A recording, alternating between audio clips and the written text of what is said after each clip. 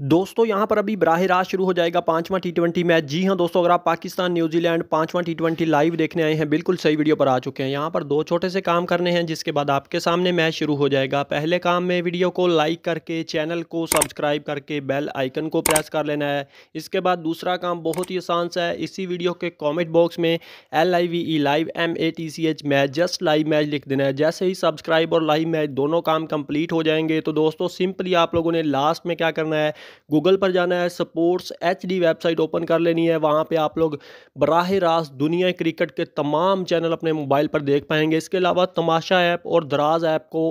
download करें वहाँ पे भी आप लोग बराह रास्त देख पाएंगे मिलते हैं आने वाली